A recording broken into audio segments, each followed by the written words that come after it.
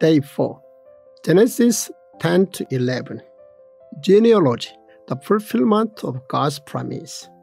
Noah's descendants became fruitful and increased in number as promised by God. However, they were scattered all over the earth due to the incident at Babel. First point Noah, who survived the flood, manages to leave behind his genealogy. Due to the flood during Noah's time, everyone apart from Noah's family perished. But when we read Genesis 9, verse 1, we can see that God granted the blessing to Noah to be fruitful and to increase in number. Through Noah's genealogy, we witness the fulfillment of that promise. Second point genealogies are symbols of God's promise country. The Bible contains many genealogies. In order to better appreciate genealogies, first, place importance on the fact that God's promise did not dissipate into the air, but became reality through every person in history. And second, remember that God's eyes are always focused on humans as his creations when reading through the lists. God focused on each and every person recorded in the genealogy. Third point God's wish is to go forth. The word Babel means gibberish.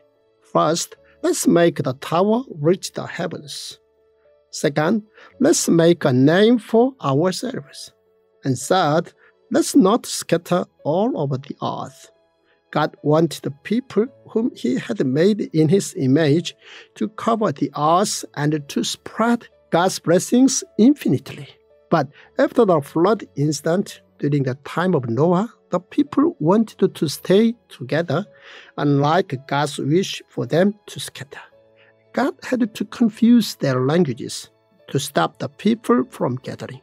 God always shows us the way and tells us to go forth. Fourth point Noah's son, Shem's genealogy shows that Noah's burnt offering was passed down to Abraham. Abraham lived in the fertile Ur of the Chaldeans between the Euphrates and Tigris rivers. But God told Abraham to go to the land he would show him. And so Abraham obeyed God's orders. Whenever he relocated, Abraham sacrificed burnt offerings to God. This suggests that Noah's burnt offering was passed down to Abraham. Fifth point the only universal language is the Bible. The Bible is a revelation where God revealed himself. Christians all over the world have the Bible as the universal language, and we must use this advantage to spread the good news about Jesus' crucifixion and of how he saved us to the ends of the earth. I am thrilled that you have downloaded the Tongdok app. The Tongdok app is not like any other app in the world today, as well as in the body of Christ today.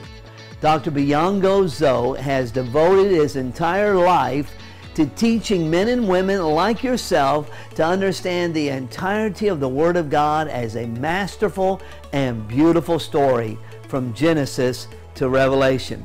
Dr. Zoh is a sought after speaker worldwide. He's a cutting edge pastor and leader. He is a renowned theologian and a prolific writer. And you're going to be equipped and energized like never before to understand and apply the Word of God into your life. Again, thank you for downloading the Tongdok app.